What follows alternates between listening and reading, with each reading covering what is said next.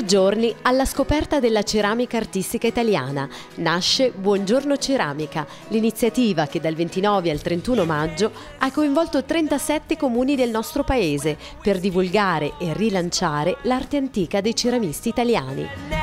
In questa prima edizione, il borgo di Deruta, uno dei 37 comuni insigniti del prestigioso marchio CAT di ceramica artistica tradizionale, si è trasformato in un laboratorio all'aperto, con performance dal vivo, esposizioni ed incontri con pittori e scultori.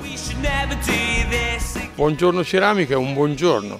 Ci auguriamo che questo buongiorno si estenda al mondo del lavoro e dell'occupazione e soprattutto avvicini appassionati di ceramica e i giovani che vogliono prendere questa attività come esempio e proseguirla negli anni come nei secoli ha avuto riferimento e ha prodotto nel nostro territorio ricchezza, benessere diffuso.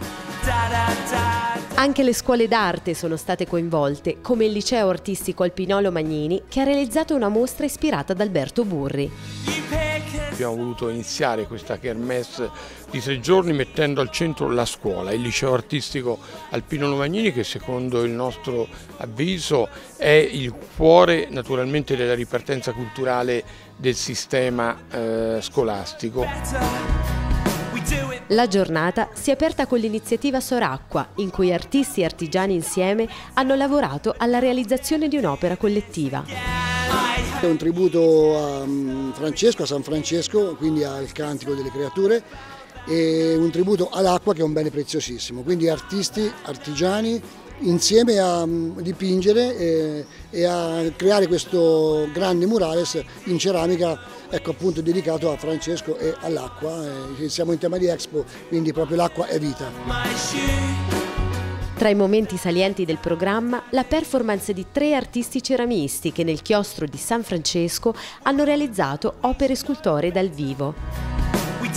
Deruta è uno dei paesi migliori che può esistere per far toccare l'arte in qualsiasi passo che uno viene qua. Grande partecipazione di pubblico anche alla mostra di Terra in Terra, curata da Domenico Iaracà all'interno del Museo regionale della ceramica si tratta di una mostra soltanto collegata a delle capacità tecniche, ma una mostra con cui si fa, prendono anche delle posizioni, si vogliono esprimere le proprie ricerche artistiche e la propria posizione anche per quanto riguarda la vita di tutti i giorni, come per esempio l'opera di Sofia Rocchetti con cui si condanna la violenza sulla donna, la violenza sull'ambiente. A concludere la giornata è stata la personale di Sauro Cardinali, allestita all'interno della Gallery House Frimocco. Tengo a sottolineare il significato della parola mocco che è in dialetto derutese l'argilla che viene utilizzata dal ceramista.